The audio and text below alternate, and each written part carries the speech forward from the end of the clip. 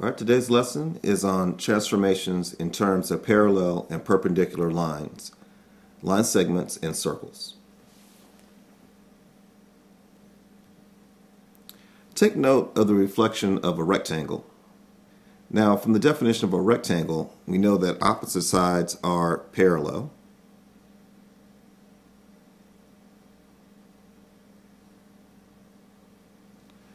And we know that all four angles are 90 degrees, which means when they intersect, they're, they're perpendicular because the sides, the length and width, form a right angle. And if you reflect it, you're going to get the flip of that image, but the angles are going to be the same. It'll still be a right angle. And the uh, the lengths of the sides are going to stay the same. They'll still be parallel to each other as well. So it doesn't change anything about the properties of parallel or the properties of perpendicular lines.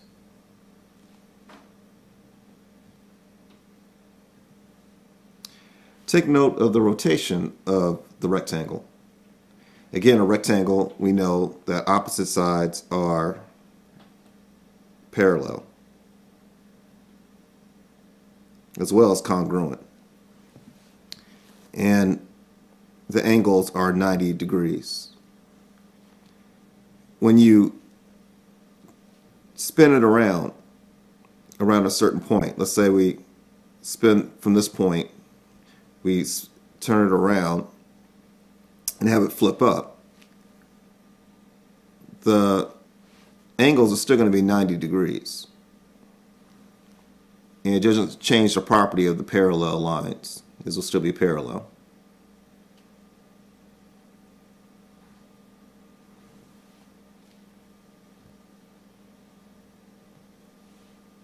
And if you look at the translation, all it's doing is moving the figure from one location to the next.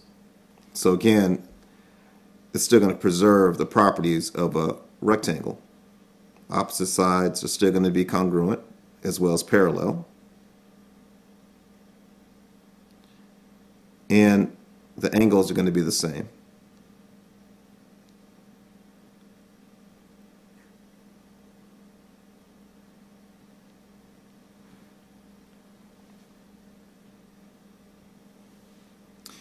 All right, now let's look at the circle. Take note of the reflection of a circle. Well, a circle has no edges. You know, we do have a what you call a center in a radius, but that's not going to change. So it's going to be identical if you reflect the circle.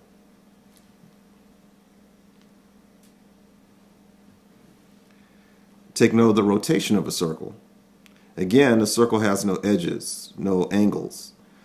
So the rotation is going to look the same. It's like spinning the ball around. So you still have a center, I mean, the radius could move around, but it's still going to be it's an equal distance from the center, so that's not going to change.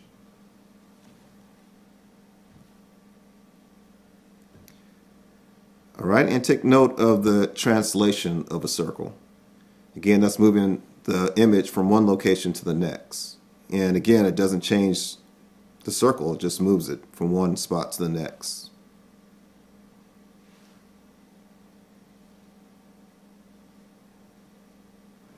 After all three transformations, the shape of the rectangle and circle still have the same size, angles, and lengths as the original images.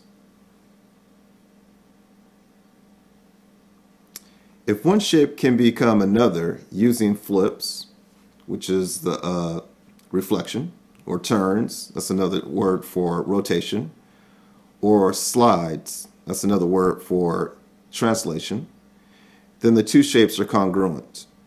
For example, if I had something like this,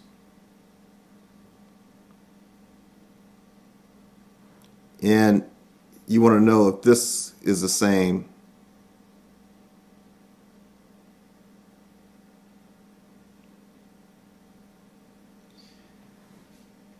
if you uh, flip it over and it matches